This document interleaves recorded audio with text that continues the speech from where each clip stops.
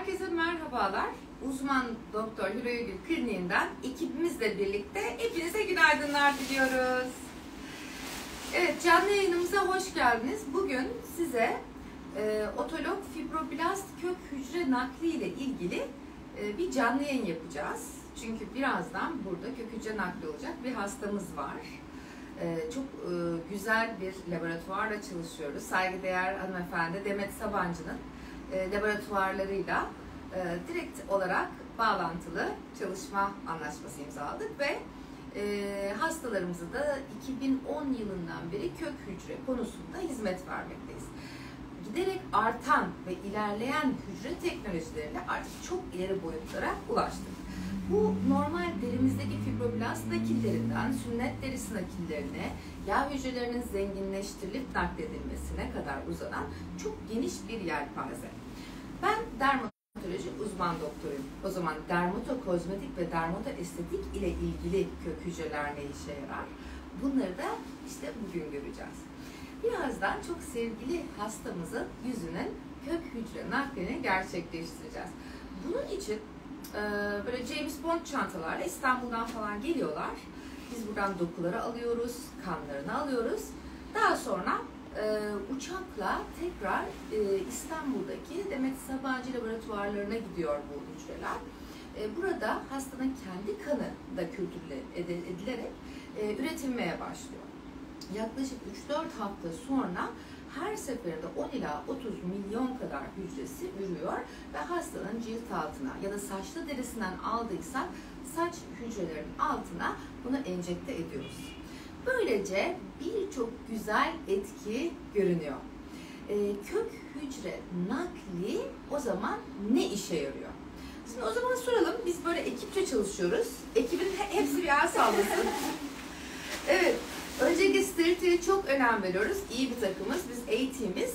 Evet sevgili ekibim. Kök hücre nakillerini nerede kullanıyoruz? Ee, akne, skar izlerinin giderilmesi, ameliyat, yara izlerinin giderilmesi, e, doku hassasiyetinin onarılmasında kullanabiliriz. Harika bir konuya e, değindi sevgili asistanım. Gerçekten yüzümüzde, sırtımızda, göğsümüzde ya da vücudumuzun başka yerlerinde skar izleri, ameliyat izleri, yanık izleri varsa, yüzümüzde geçmeyen akne izleri, su çiçeği izleri varsa kök hücre nakli, otolog fibroblast hücre nakli çok işe yarıyor. Başka? Ee, saç tedavilerinde kullanabiliriz. Saç dökülmesi, saç kıran gibi durumlarda uygulanarak daha sağlıklı, daha güçlü ve daha gür saçlara sahip olabilirsiniz. Kesinlikle asistanım doğru söylüyor. Bu sefer de saçlı deri foliküllerinden hücreleri alıyoruz, örnekleri alıyoruz laboratuvarda e, çoğaltılıyor ve saçlı deriye enjekte ediyoruz. O zaman ne oluyor? Saç hücreleri, saç foliküllerinde üreme, saçlarda gürleşme, parlaklaşma ve sağlıklı bir görünüm elde ediyoruz. Başka nerelerde kullanıyoruz acaba? Dudak gençleştirme, dudak dolgunlaştırma, nazorabiyal olukların doldurulması ve marionetlerin doldurulmasında da kullanılıyor. Evet, yani bununla yüzümüzü de dolgunlaştırabiliriz. Biliyorsunuz dudaklar en çok kullanılan yerler. Pipetle bir şey içerken, su içerken, konuşurken, üfleme işareti yaparken dudaklar o kadar çok çalışıyor ki çevresinde barkod çizgileri dediğimiz bazen sigaracı çizgileri denilen smoker lines'lar oluşabilir. Bunların iyileştirilmesine çok yararlıdır kök hücre. Aynı zamanda dudakların daha dolgun, daha nemli görülmesini sağlar. Nose, burun, labium dudak, nazolabiyal oluk ise burun ile dudak arasındaki olukların doldurulmasında da kullanıyor. Ee, e, kullanıyoruz. Marionet e, oluğu dediğimiz ağız köşesinden çeneye doğru giden boşlukları da dolduruyoruz. Bunun dışında yüzümüzdeki diğer kırışıklıklar, yaşlanma izleri bunların da geçmesi için e, gene kök hücre nakli çok yararlı. Peki başka nerelerde kullanıyoruz? Daha güzel ve bebeksi bir görünüm için cilt için kullanılmaktadır. Parlaklık için. Evet. Ee, böylece ne ekibimizin en genç elemanının cildindeki gibi bebeksi bir görüntü elde etmek için de bu bebek hücrelerinizi size tekrar naklediyoruz. Bunlar çünkü derinin bebek hücreleri. Fibroblast nedir? Derinin baby selleri. e, fibro, e, fibroblastlardan kolajen ve elastin oluşur. Kolajen ve elastin cilt altında sanki bir pirinç tarlasındaki pirinçlerin yukarıya doğru çıkması gibi büyümeye başlarlar. Ve kendi aralarında crosslink yaparak sımsıkı, diri, parlak, canlı bir cilt oluştururlar. Yaptığımız birçok tedavi fibroblastların kolajen ve elastin üretimini arttırmaya yarıyor. Birçok tedavide biz kolajen üretici, hyaluronik asit veriyoruz, kolajen üretici aşılar yapıyoruz. İşte gençlik aşıları bunlar hepsi yaptığımız işte dolgular bunların hepsi sonuçta lazer olsun, radyo frekans olsun hepsi fibroblastların uyarılıp, indükte edilip tekrar daha da çok kolajen ve elastin üretmelerini sağlamak içindir. Ve tabii ki daha bebeksi bir cilt, kadife yumuşaklığında, e, elinizle dokunduğunuzda pürüzsüzleşmeye başlayan bir cilt olması herkesin hoşuna gider.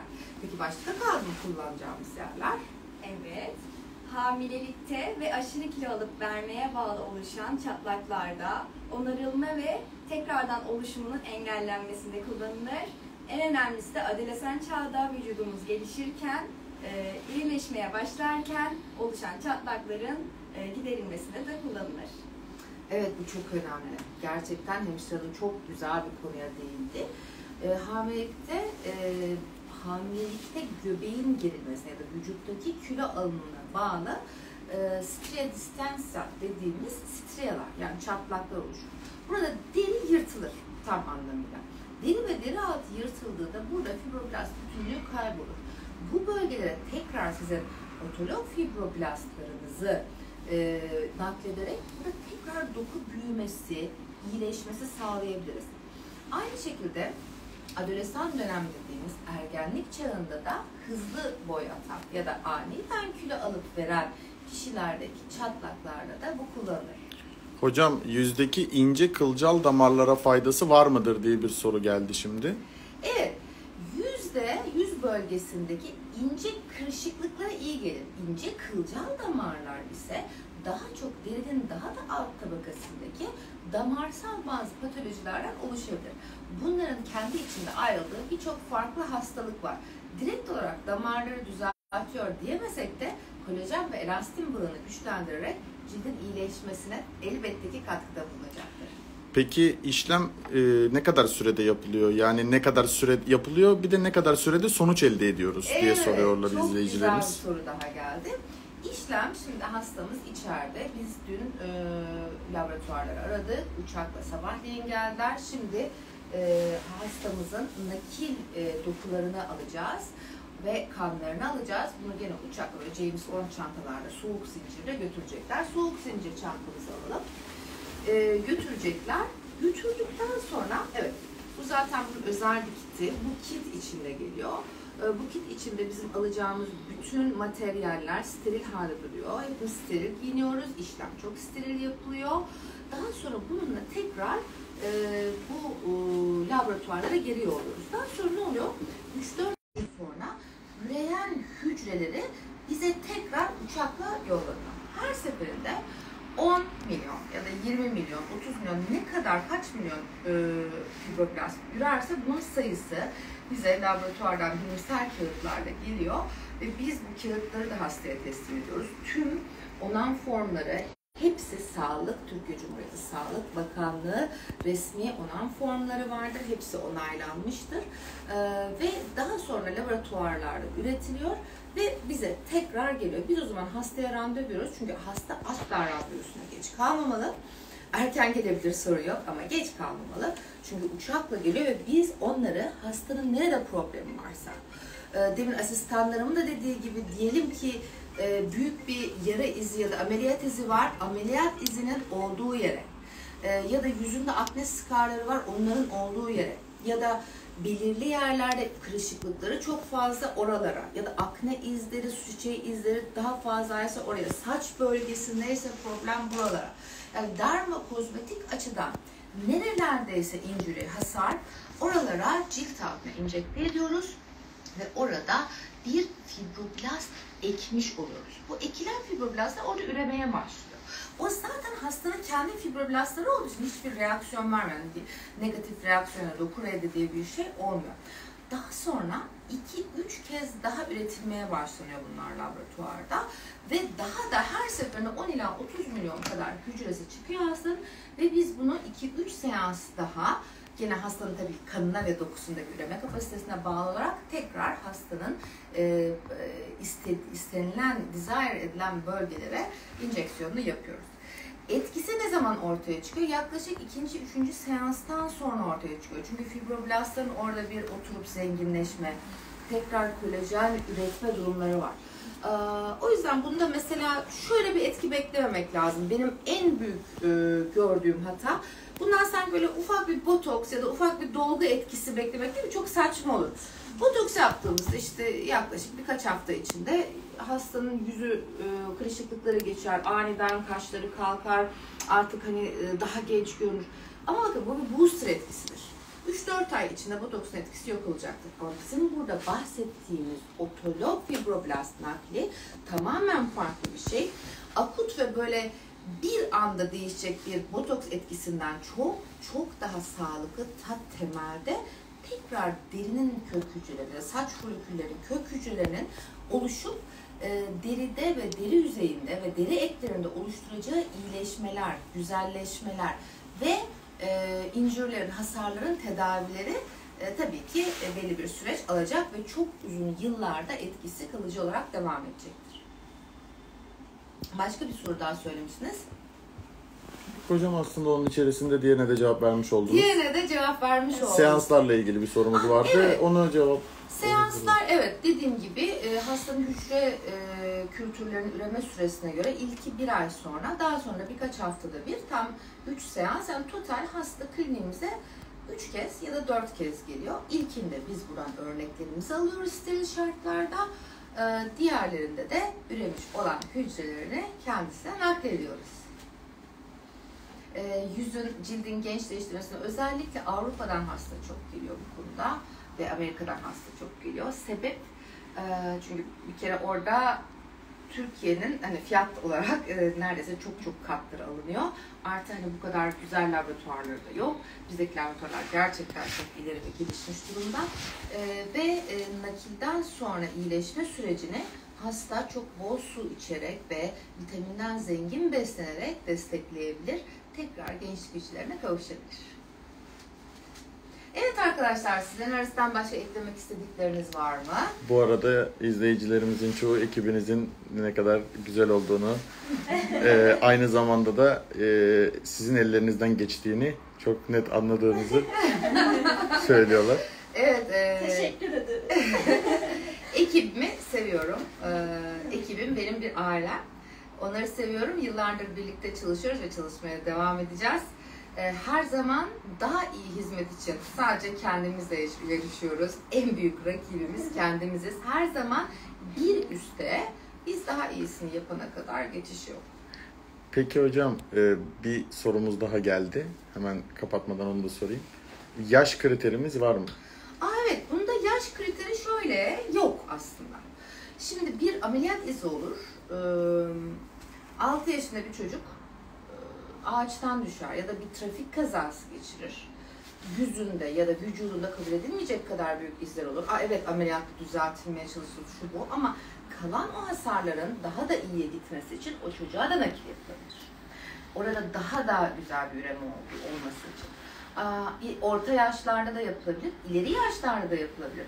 Ama tabii ki hücre kalitesinin düşmemesi için çok ileri yaşlar mesela 80-90 yaşındaki bir hastadan aldığımız hücrede üreyecek fibroblast miktarı daha az olabilir. Genç bir kadından alacağımız ya da genç bir adamdan alacağımız fibroblast hücre sayısı daha fazla olabilir. Zaten sayılarının otomatik konturlarda sayılarak bize sayı olarak verilmesi de bunu gösteriyor. Ve biz hastaya tabii ki tüm beklentileri söylüyoruz. Bundan dediğim gibi böyle e, hani üzerine kocaman marka yazan ama böyle çok da kaliteli olmayan kıyafetler vardır ya bu o değil. Bu markası gizli olan ama gerçekten kaliteli olan bir şey. İleriye yatırım çünkü bu. Sizin ileriye yaptığınız yatırım.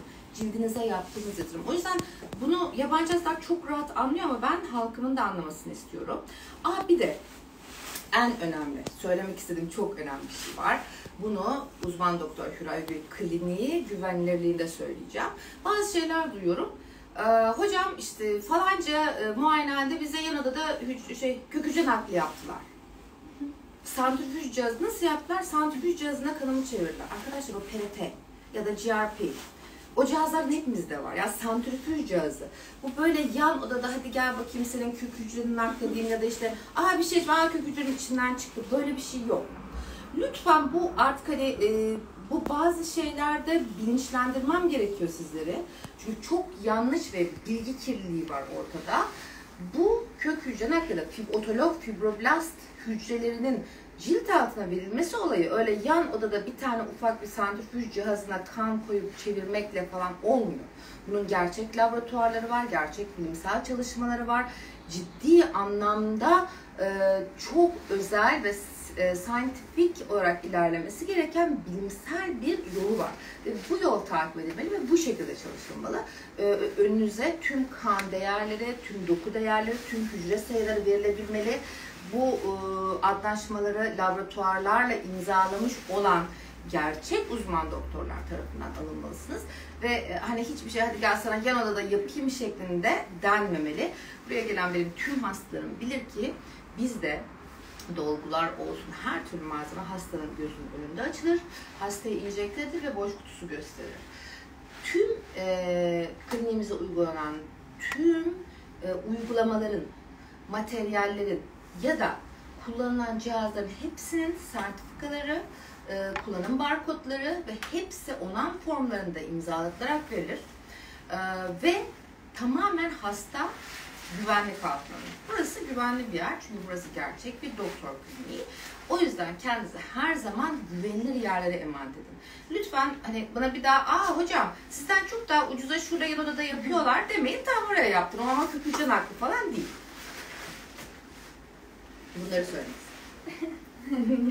Eklemek istediğiniz başka bir şey var mı? Evet hanımlar sizlerin var mı? O zaman biz hastamızı daha fazla bekletmeyelim. Birazdan kendisinin kök hücre nakline geçeceğiz. Çünkü uçakla gelip alacaklar. Hepinize saygılar ve selamlarımızı sunuyoruz. Hoşçakalın. Bakalım.